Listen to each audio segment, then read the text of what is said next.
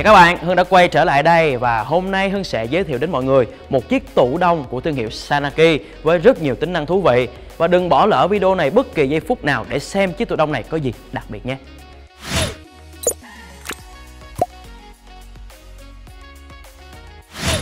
Chiếc tủ đông bên cạnh Hưng đây thuộc dòng VHA1HI của Sanaki với hai lựa chọn về dung tích tùy theo nhu cầu của gia đình mình. Mẫu 305 lít có mã là VH4099A1 còn mã của mẫu 410 lít là VH5699HI. Ngoài sự khác nhau về dung tích thì hai sản phẩm này đều tương tự về thiết kế lẫn tính năng. Sanaki là một thương hiệu đã quá quen thuộc với người tiêu dùng Việt Nam rồi, làm chúng ta gợi nhớ lại mấy cái tủ kem ngày xưa các bạn. Cái thời mà kem ký nó có mấy ngàn ký à. Vỏ máy thì có màu trắng bóng, dễ lau chùi, điểm thêm ít đường viền màu xám ở tay cầm tạo điểm nhấn cho thân máy. Phần tay cầm được làm lôi lên về phía trước và việc mở lên hay là đóng xuống khá là nhanh gọn. Máy còn được trang bị 4 bánh xe để thuận tiện cho việc di chuyển. Nếu mình đang dự trữ đồ ăn trong tủ mà muốn đẩy tủ sang vị trí khác, thì một người vẫn có thể đẩy hay là kéo rất dễ dàng. Không gian bên trong tủ rất là rộng luôn và ở ngăn bên phải chính là lóc máy. Vị trí này được làm cao hơn hẳn so với lòng tủ và mình có thể tận dụng phần này để ngăn cách các thực phẩm với nhau. Ở trong trường hợp bạn không muốn để dâu ua nè, bánh trái hay là kem trong tủ bị ám mùi của thịt cá tươi sống. Còn nếu như mà bạn muốn tách biệt ra hẳn luôn á thì dễ thôi, bỏ chiếc giỏ này vào ha. Đây nè. Và chiếc giỏ này nó có thể ờ, di chuyển từ ngăn này qua ngăn này luôn các bạn. Đó, rất là tiện nghi. Còn nếu như mà không cần thì lấy ra. Đó. Quá dễ. Và các bạn cũng thấy đó cái điểm khác biệt giữa chiếc tủ đông này với nhiều dòng tủ khác trên thị trường là nó chỉ có một ngăn duy nhất dù dung tích khá lớn tới 305 lít. Ưu điểm của cái việc này á, là mình có thể tận dụng tối đa không gian để chứa thực phẩm nhưng mà nhược điểm của nó là thiếu đi cái sự linh hoạt khi mà mình muốn làm lạnh nhiều loại thực phẩm với nhiều mức nhiệt độ khác nhau. Bảng điều khiển được đặt ở phía trước bên dưới tủ với 7 mức làm lạnh khác nhau Tùy theo nhu cầu sử dụng mà mình có thể lựa chọn sao cho phù hợp. Và để căn chỉnh nhiệt độ cho chiếc tủ của mình thì các bạn có thể tham khảo phần gợi ý được dán ở bên nắp tủ nha. Nếu sắp tới nhà bạn nào tổ chức tiệc cần phải chuẩn bị một lượng lớn rau củ quả, trái cây hay là nước uống giải khát cho nhiều người thì Min sẽ là mức nhiệt độ thích hợp. Nhiệt độ sẽ dao động trong khoảng từ 0 cho đến 10 độ C. Cho bạn những chai nước mát lạnh sảng khoái thật nhanh.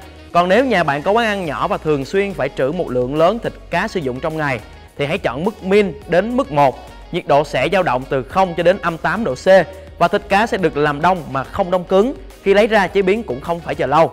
Mức 1 đến mức 5 dùng khi bạn cần đông đá hoàn toàn với lượng thịt cá trong thời gian dài. Nhiệt độ có thể xuống âm 25 độ C lận nha. Nhưng mà có điều khi lấy ra sử dụng thì bạn phải cho vào lò vi sóng hoặc là chờ rã đông tự nhiên một lúc. Từ mức 5 đến mức mắc thì mặc dù có thể hạ nhiệt độ xuống thấp đến âm 28 độ C, nhưng hãng cũng khuyến cáo là mình không nên sử dụng vì có thể ảnh hưởng đến tuổi thọ của máy. Và khi mua về sử dụng thì bạn có thể cảm nhận là tủ cho khả năng làm lạnh khá sâu trong thời gian ngắn và để làm được điều đó là nhờ tủ được trang bị dàn lạnh bằng đồng chứ không phải bằng nhôm. Và lợi ích của tủ đông dàn đồng là nó có độ bền khá cao, không mục rỉ, tăng tuổi thọ sản phẩm lên gấp 3 lần và đảm bảo khả năng vận hành êm ái, làm lạnh nhanh chóng hơn.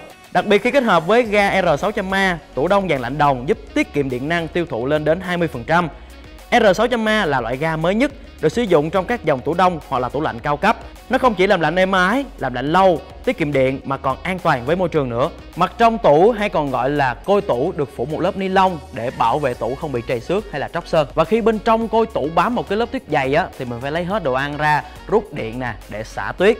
Nếu không xả cái lớp tuyết này á thì máy sẽ làm lạnh không có nhanh và hao điện nữa. Để thuận tiện cho việc vệ sinh thì bên trong tủ còn có một cái lỗ thoát nước sau khi xả tuyết xong, mình sẽ mở cái lỗ này ra để cho nước tràn xuống. Sau đó mở van xả bên ngoài để thoát hết nước ra. À lưu ý là mình tuyệt đối không nên sử dụng những cái vật sắc nhọn để cạy cái lớp tuyết này ra nha. Vì rất có thể nó sẽ làm thủng luôn cái dàn lạnh hay là thậm chí hư tủ. Như vậy là mình vừa lướt qua những đặc điểm nổi bật của chiếc tủ đông này Đây là dạng tủ đông một ngăn nên sẽ khá là kén người dùng hơn là so với tủ hai ngăn Và hơn nghĩ cái tủ này nó sẽ phù hợp với nhà nào mà chúng ta có quán ăn nhỏ nè Cần lưu trữ thực phẩm hay là lượng thịt cá lớn sử dụng trong ngày Thực phẩm nó sẽ không bị đông quá cứng đúng không? Chúng ta lấy ra chế biến ngay Không cần phải chờ đã đông quá lâu Rất là tiện lợi luôn Ngoài ra tủ còn cho mình nhiều mức nhiệt độ để lựa chọn tùy theo nhu cầu và được trang bị dàn lạnh bằng đồng giúp làm lạnh nhanh, lạnh sâu, tiết kiệm điện năng. Ok và nếu các bạn nào có thắc mắc gì về chiếc tủ đông này thì cứ comment bình luận bên dưới nha. hương sẽ dành thời gian để trả lời các bạn. Còn bây giờ xin chào và hẹn gặp lại.